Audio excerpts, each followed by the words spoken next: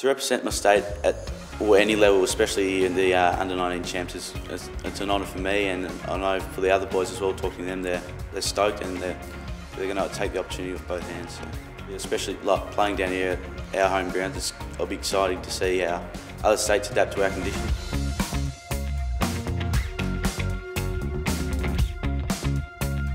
I'd say I'm a, more of a bowling all-rounder. I bowl mainly just during the middle overs and uh, hopefully go into later innings. But I try to sort of replicate Nathan Lyon and the way he's changed off-spin bowling really.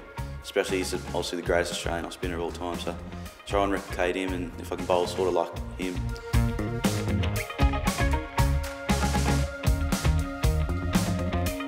I'm just hoping to improve on my other carnivals in the under 19s. Like, um, and I just want to see the boys go pretty far, considering it's our home turf. It'd be nice to get a couple of wins. To be selected for Australian World Cup would just mean everything to me, just all the hard work we've put in over the last three or four years. And yeah, it'd mean a lot, not just to me, but probably to my family as well.